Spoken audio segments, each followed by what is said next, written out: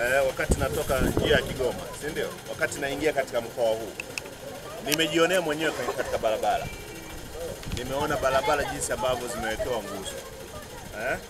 Lakini kingine, Mheshimiwa mkuu wa mkoa, taarifa ambayo imesomwa na katibu tawala mkoa ni taarifa ambayo inajitosheleza kabisa na inaonyesha kwamba watu hawa walikuwa kazini.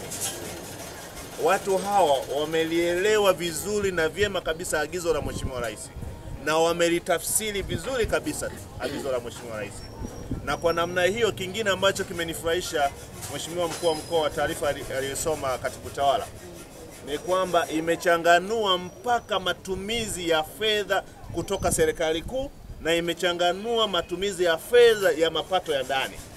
Hii ni kuonyesha uwazi katika utekelezaji wa agizo la Mheshimiwa Rais. Mimi binafsi kabisa pamoja na timu yangu kutoka Wizara ya Habari na Mawasiliano na Teknolojia ya Habari, ninaamini kabisa wote tumeridhika kwa kiwango kikubwa sana na kuhakikishia hili leo hii Mheshimiwa Waziri atalijua, Mheshimiwa Waziri wetu Nape Moses Nnauye, na leo hii tuna hakika kabisa kwamba Mheshimiwa Waziri Mkuu atalijua, lakini tutahakikisha leo hii Mheshimiwa Rais anajua kwamba Katavi kazi ambayo mmeifanya katika kutekeleza agizo lake mmeifanya kwa kiwango kikubwa sana na kwa uelewa wa kiwango kingine katika dunia hii. Kwa hiyo Mheshimiwa mkuu wa mkoa, wewe pamoja na timu yako, wewe lasi Chama cha Mapinduzi mkoa wa Katavi, Mheshimiwa mkuu wa wilaya, mkurugenzi, kwa kweli nawapongezeni sana, kazi ambayo mmeifanya hii ni ya kizalendo.